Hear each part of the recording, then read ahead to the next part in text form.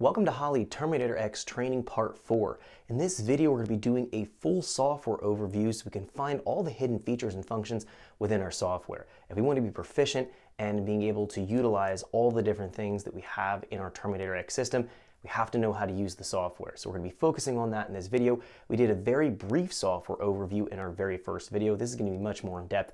I'll cover a lot more details. So let's jump into our video so we can check this out. Okay, so let's get started. We're going to be taking a look doing a software overview here in our Terminator X software. In our very first video, we learned how to download and install our Terminator X software onto our laptop. We did a very brief software overview, so we just skimmed over the software to get familiar with it. Now we're going to do a bit more in-depth look at the software, so we know exactly what to expect and where to find things within the software.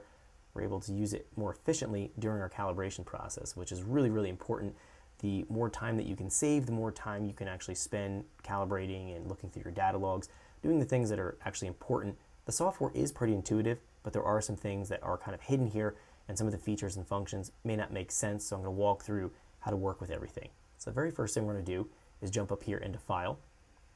We find some options here. Create new global file, open global file, import global file. Now let's talk about our first option here, create new global file. Now, what I have open at this point in my software right here, we can see at the very top it tells us the file name. This is the 24x MPFI LS file. This is from our base global file folder under the LS engine. So this is the, uh, the file that's actually associated with the box and the harness that I'm working with in this particular training course. Um, so if I jump into a table here, if I go to something like my base fuel, this populates the table. We have values in our base fuel table. This is going to allow the vehicle to run. It's going to be approximate what you need to have in the table to uh, fuel the engine and open and close the fuel injectors to deliver the fuel into the actual engine. If we take a look at our target air fuel table, that's populated with some kind of value. If we're looking at our startup enrichment tables, these have some kind of value in them. If I want to start off with a scratch file, I don't want to go in and start off with anything that Holley has populated already, I can actually do that using that option here. So it's going to be essentially turning everything back to zeros we'll find we have to go in and actually populate all the tables and all the settings to make sure our engine's actually going to run. So if we go here under File and under Create New Global File, we're going to find is if I click that option, we can see a whole bunch more icons appear here on the screen. It's going to be bringing all of the features and functions that we can work with in the software and turning them on.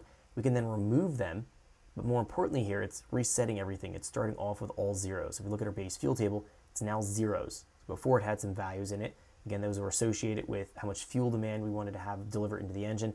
They are going to be essentially translating themselves into an injector pulse with the pulse the injectors to add the fuel. At this point, if we have a value of zero, it's not going to run the engine. It's not going to allow the injector to actually do anything. If we're taking a look at something like our spark timing table, we look at our based spark timing values. This would be what we command for the spark timing.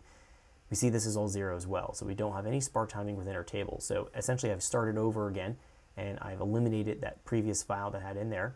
If we're taking a look at the top, we're seeing it's called Terminator X8 is the default name that it's calling itself.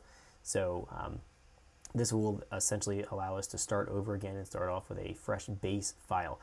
Most of the time we're not going to do this, but sometimes if you have a custom application you're working with in your Terminator X, you might find that it's easier just to start off with a completely new file rather than going in and editing and modifying something that's existing. So let's go here. Our next option here is a file. Open global file, we've talked about this. This allows us to open the actual files. We have our project folders within our global file folders. We're going to be saving our project names. We also have a base cal that's going to allow us to access all of the base calibration files from Holley within our directory here. We talked about this already.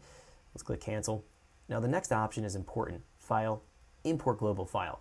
By allowing ourselves to import a global file, if we have, let's say, a file that's blank here, we're starting with a fresh file, we can bring attributes from another file, such as our fuel tables, maybe our ignition timing tables. We can import very specific tables or the entire calibration and bring it into this existing calibration that we're creating as a fresh calibration file. So let's go and demonstrate that real quick. So again, our Terminator X8 is the file that we have open here. If we go to File and we go here to Import Global File, we can see it's going to ask us which file we want to work with and inherit, inherit the attributes from. So um, in this case, let's say EPA training example one. Maybe I want to go in and bring my fuel and ignition timing tables only from my, let's say, example changes one file. let's just assume this is going to be, again, we're just Thanks for checking out our teaser clip. If you want to see the rest of this video and more than 500 hours of current EFI training we have to offer, make sure you click right here. If you want to go and check out more teaser clips from this training course, click here. And you don't want to miss any of the videos we're going to be releasing on this channel, so make sure you subscribe and click here. Thanks for watching, and I'll see you guys later.